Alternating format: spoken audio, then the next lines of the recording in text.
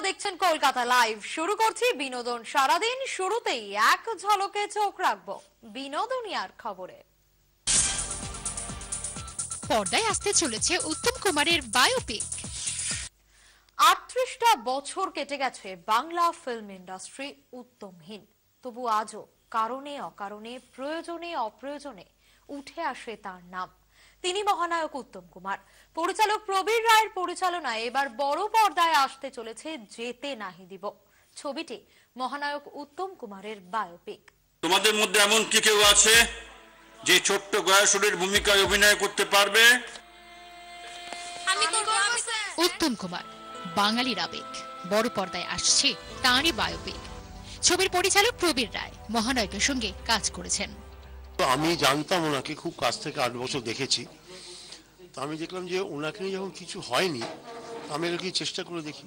আর তখন আমার ভাগ্য ভালো, তখন বেনুদিও বেঁচে ছিলেন তা বেনুদির সঙ্গে গেলাম, দেখা করলাম, কথা বললাম বললাম বেনুদিকে বললে হ্যাঁ তুই তো দেখেছিস তুই তোর মতো করে কর যেতে নাহি দিবতে উত্তম কুমারের চরিত্রে অভিনয় করবেন সুজন নীল মুখোপাধ্যায়।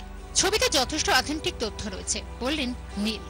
মানে না, জীবনের কিছু সম্বন্ধে বই পড়তাম উনি অনেক বই আছে, আমিও পড়েছি সিনেমাটার আগে, কিন্তু কিছুটা তাতে জানা যায়, আর কিছুটা না রিউমার ছড়ানো, উনি এটা করে জানি স্টেটাম ছিল। তো সেইগুলো কিছুটা ক্লিয়ার হবে, সেটা হবে সেটা এই ভীষণ অথেন্টিক থেকেছে। এই ছবিটাকে মানে হিট করানোর জন্য কোনো মশালা ঢোকানো বা এটা এটা ওনারও একটা ট্রিবিউট ওনার একজন মহান মানুষের প্রতি।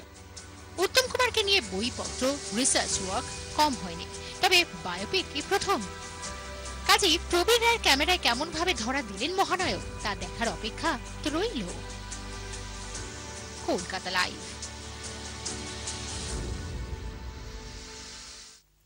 বিনোদন সারাদিনে এখন সময় একটা ব্রেকের এর